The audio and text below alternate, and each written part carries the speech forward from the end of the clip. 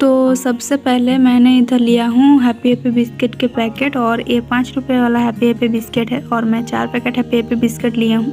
तो आप लोग चाहो तो ज़्यादा या कम भी ले सकते हो, कोई दिक्कत नहीं है। तो सबसे पहले मैं सारे पैकेट से बिस्किट को अलग कर लूँगी आई मीन पैकेट से निकल के एक बाउल में रख लूँगी। तो सारे बिस्किट को मैं पैकेट से निकल के एक बाउल में रख लिया। फिर उसके बाद मैं इस बिस्किट को इस तरीके से टुकड़े करके एक ग्राइंडर में डाल दूँगी, क्योंकि मेरा आज मैं हैप्पी हैप्पी बिस्किट को ग्राइंडर में बनाने वाली हूँ। आई मीन ग्राइंडर से केक बनाने वाली हूँ। तो इसलिए मैं ग्राइंडर में डाल रही हूँ और इसको अच्छा खासा एक पेस्ट बना लूँगी।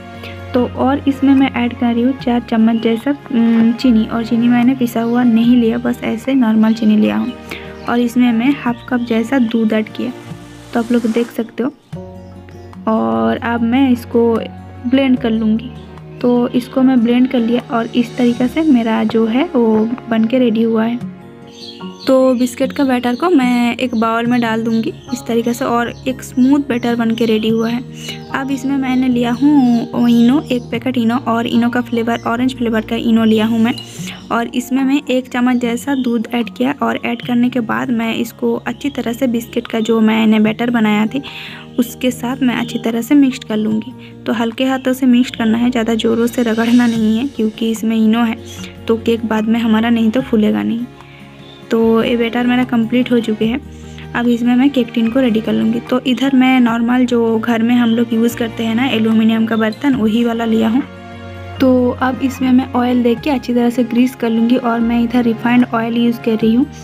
तो मैं ऑयल दे के अच्छी तरह से चारों साइड में ग्रीस कर लिया और इसके हिसाब से मैं एक पेपर कट कर ली थी तो उस पेपर को बिठा के मैं अच्छी तरह से बिठा के उसके ऊपर भी थोड़ा ऑयल ग्रीस कर लूँगी।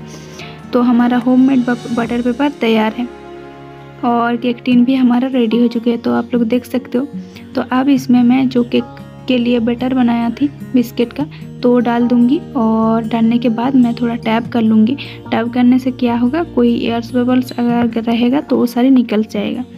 तो इस तरीक़े से टैप कर लूँगी।